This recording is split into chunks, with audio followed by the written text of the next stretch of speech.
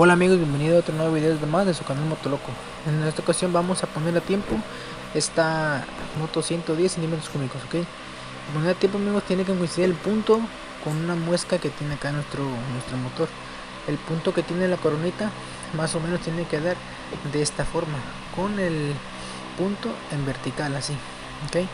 Entonces eh, vamos a meter lo que es nuestra coronita de esta manera y con ayuda de un desarmador vamos a poner nuestra cadena de tiempo que encaje bien en nuestros dientes de nuestra coronita ok. Pues está un poco no es trabajoso pero sí está un poquito batalla. Una vez metido y podemos ver que el punto no coincide con la muesca. Entonces vamos con el mismo desarmador. Vamos a, subir un, un diente más que viene siendo de la cadena. Y ahí ya nos coincide entonces vamos a hacer un poco de palanca con el desarmador a la coroneta muy suave para que nos llegue ahí bien. Ahí ya está a punto con la muesca entonces vamos a mover un poco el árbol de levas para que nos podamos atornillar los tres tornillos que lleva ahí. Entonces esto es muy fácil amigos. Vamos a poner los tornillos.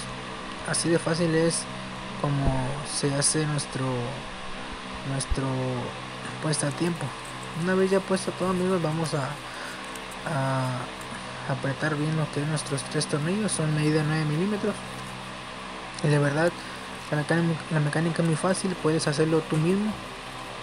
Y simplemente cuestión de echarle ganas y sí entonces amigos de esta manera aquí podemos ver que ya coincidió en lo que es nuestro punto de nuestra coronita con nuestra muesca entonces de esta manera se puede hacer muy fácil amigos. Nos vemos en el próximo video. Espero que te haya gustado saludos